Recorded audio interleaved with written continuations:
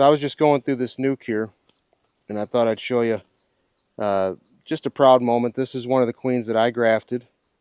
She was uh, open mated here at my place. Uh, she was grafted from a overwintered VSH queen from last year.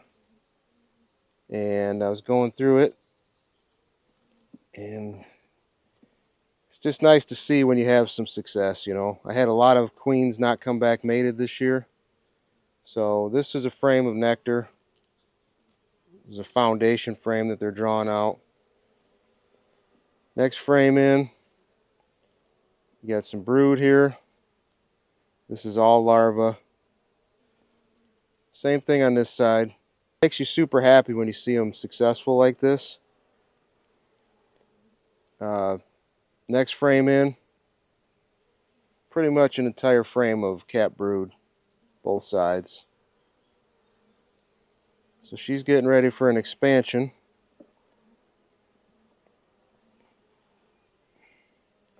Here she is right here. There's Queen.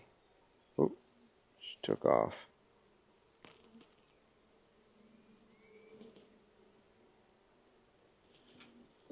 She's apparently camera shy. There she is right there.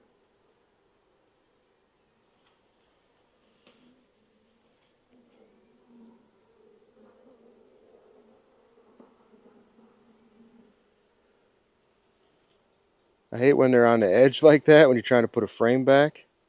There she goes. Now she's in the middle. So yeah, just cool to see. I'm going to use this particular hive for another reason. I'm going to put a uh, super on here. What I'm going to do is uh, combine two nucs with one super. I've done this before. I've had success. Actually got a ton of a ton of honey off of it. And uh, we're getting ready to we're hitting a pretty pretty good part of our flow right now. So what I'm to do is grab the other nuc down here and slide it down and then uh, put a honey super on there with a queen excluder. I'll be right back. So what I've got here is two nuc hives. Got the green one on the left the uh, orange polka dot one on the right. What I'm going to do is slide these two together, kind of split the difference between the two, and turn this into a honey making machine. So I've got a honey super here with an excluder and a little board to block the, uh, the gap. I'll show you that in a minute. So I've done this technique before. It's not, it's not new. It's nothing exclusive to me. I learned it from other beekeepers. But uh, it works great. So you take two nucs. It's uh, perfect time to do this. It's right in the middle of the honey flow. Uh, slide them together and let the two colonies work together to fill a super. So let me show you that real quick. All right, so the first thing that I'm going to do is just kind of split this difference. We'll slide this one that way. We'll slide this one over here. Just kind of line them up.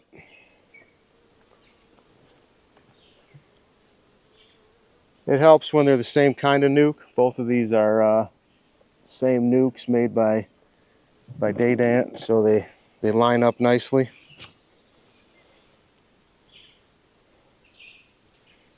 All right, so now we grab my excluder. All right, so what I do now is I put an excluder on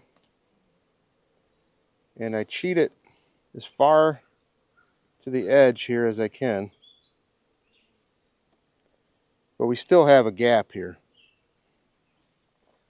And I'll fill that here in just a minute.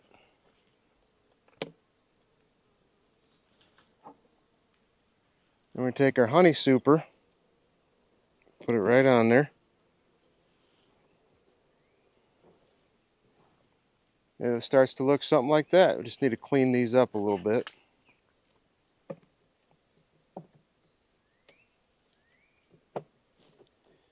I'm running nine frames in a 10 frame box. That way they can draw it out.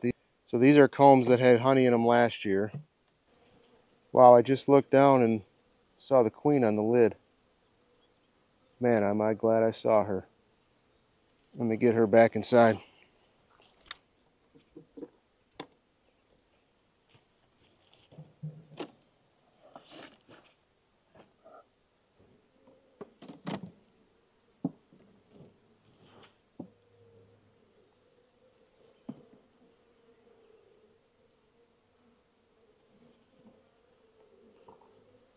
Whew, thought she was going to run into the other box.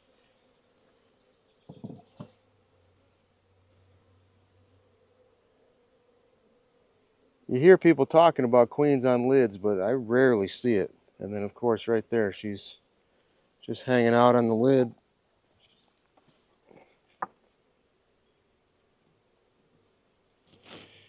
All right, well, she's back in the box. Put the honey super on, straighten it out.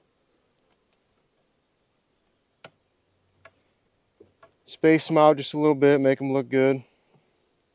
Where you get some nice fat comb. So my microphone overheated and it's all staticky right here. So I'm just gonna voice over this little section. Um, keeping in mind that there's this little gap right here. You need to put something on that to cover it. What I do is just put a little piece of wood on there. Uh, this particular piece of wood is just the side piece of a uh, shim board that I didn't put together yet, but you can just set that on there, kind of any direction that you want, and the bees will propolize it down. Uh, usually within about a day or two, they'll completely glue that down and uh, take care of that problem for you.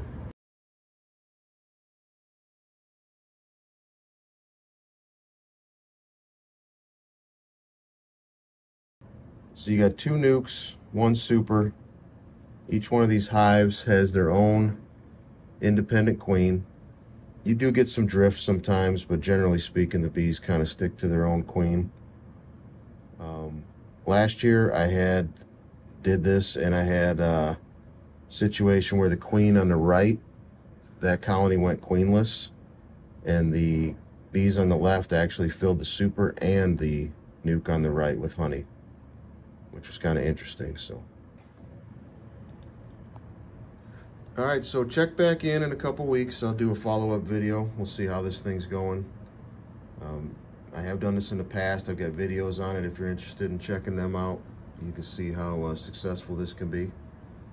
And uh, of course, thanks for watching. I appreciate everybody. Sorry about the sound at the end.